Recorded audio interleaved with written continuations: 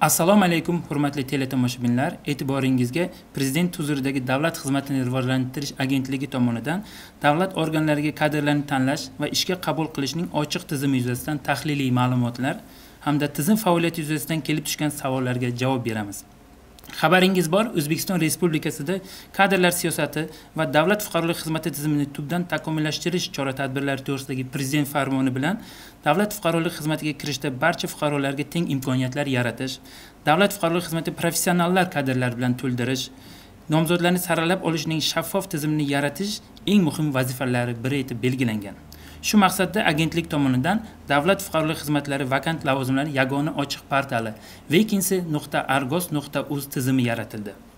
Portal orqali joriy yilning to'rtinchi fevral kuniga qadar e, respublikadagi oltmishdan ortiq vazirlik idoralar hamda barcha tuman tuman shahar hokimliklaridagi mavjud vakant lavozimlar bo'yicha qirq bir ming olti yuz sakson yettita tanlovlar e'lon qilinib ushbu vakant lavozimlarga jami besh yuz o'n ikki ming uch yuz ellik to'qqiz nafar nomzodlar tomonidan hujjatlar topshirildi.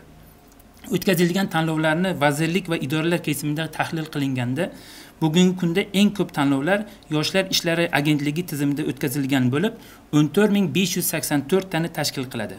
Shuningdek davlat soliq qo'mitasi tizimida to'rt ming sakkiz yuz yigirma uchta xalq ta'limi vazirligi tizimida 3636 ta, moliya vazirligi tizimida esa 3788 ta tanlovlar o'tkazildi. O'tkazilgan tanlovlarni hudud kesimida tahlil qilinganda esa eng ko'p tanlovlar farg'ona viloyatida o'tkazilgan bo'lib 4510 tani tashkil qiladi.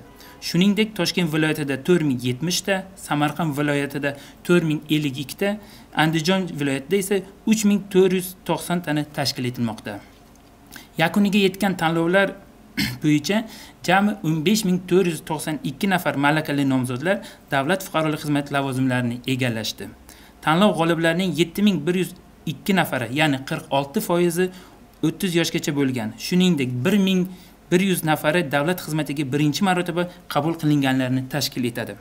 Portal faoliyati yo'lga qo'yilgandan biron buyon o'rta hisobda bir kun ichida o'ttiz besh qirq nafar davlat fuqarolik xizmatchisi ochiq tanlovlar orqali ishga qabul qilinmoqda.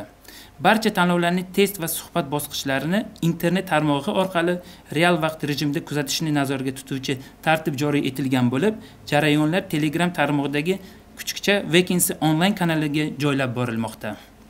Hurmatli teletomoshabinlar endi esa fuqarolardan kelgan ko'plab savollarni umumlashtirilgan holda javob berib o'tamiz. Birinchi savol. Vakant lavozim uchun ochiq tanlov qanday tartibda e'lon qilinadi? Javob. Davlat organlari va tashkilotlarining yagona milliy mehnat tizimida vakant lavozimi vujudga kelingandan so'ng ushbu lavozim vakant o'rni sifatida avtomatik ravishda vakant lavozimlar portalidagi tashkilotlarning kadrlar bo'linmasi kabinetida ko'rinadi. Tashkilotning kadrlar bo'linmasi rahbari maxsus elektron kalit yordamida kabinetga kiradi hamda vakant lavozim uchun malaka talablari lavozim majburiyatlari ish sharoiti va belgilangan ish haqini qayd etadi. Ushbu so'rov avtomatik ravishda davlat xizmatini rivojlantirish agentligiga kelib tushadi va tashkilot tomonidan taqdim qilingan ushbu vakant lavozim tanlovga e'longa beriladi. Ikkinchi savol. Tanlov ishtirokchilarining arizalarini ko'rib chiqish tartibi qanday amalga oshiriladi? Hujjatlarni malaka malaka talablari bo'yicha o'rganishda agentlik mas'ul xodimi ishtirok etadimi? Javob tanlov nomzodlarining hujjatlari davlat organlari va tashkilotlarida tuzilgan tanlov komissiya tomonidan belgilangan malaka talablari asosida ko'rib chiqiladi hamda natijasi nomzodning shaxsiy varaqasi shaxsiy kabinetida hujjatlarni qabul qilish muddati tugagandan uch ish kuni mobaynida yuboriladi. Hujjatlarni malaka talablari bo'yicha o'rganishda agentlikning mas'ul xodimi ishtirok etmaydi. Uchinchi savol. Test sinovi qanday tartibda tashkil etiladi? Test savollari qaysi tashkilot tomonidan tuzilishi haqida to'xtalsangiz. Javob. Bugungi kunda test sinovi bosqichi nomzodlarning sohaviy bilim va ko'nikmalarini baholash uchun o'tkazilayotgan bo'lib ayni paytda test sinovlari hududlarida markazlashtirilgan holda davlat xizmatini rivojlantirish agentligining filiallari binosida o'tkazilmoqda. Test sinovi jarayonlari internet tarmog'ida real vaqt rejimida efirga uzatilishi ta'minlanmoqda. Shuningdek test sinovi 40 ta savollardan iborat bo'lib uni 20 ta savoli tashkilot tomonidan taqdim etilgan bevosita sohaviy qolgan yigirmatasi esa agentlik tomonidan nomzodning ma'naviy siyosiy huquqiy hamda axborot texnologiya bo'yicha bilimlarini sinovdan o'tkazishdan mo'ljallangan.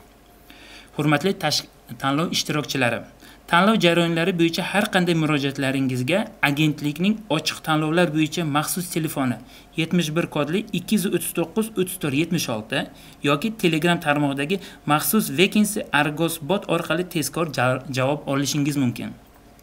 Mazkur tizim o'zbekiston davlat boshqaruvida yangi bo'lganligi sababli jamoatchilik nazoratini kuchaytirish juda muhim hisoblanadi.